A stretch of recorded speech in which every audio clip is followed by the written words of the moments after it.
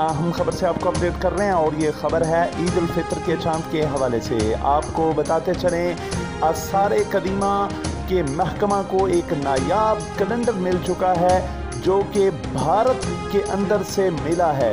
इस कैलेंडर के अंदर इस वक्त आलम इस्लाम के ममालिक और खसूस पाकिस्तान, इंडिया और इससे मुल्क ममालिक के अंदर ईद कब होगी? ये कैलेंडर आसार कदीमा का अहम तरीन कैलेंडर है, जिसके अंदर उन्नीस सौ इक्यासी से लेकर सन दो हज़ार सतर तक किस दिन ईद होगी, ये तमाम तारीखों को दर्ज कर दिया गया है।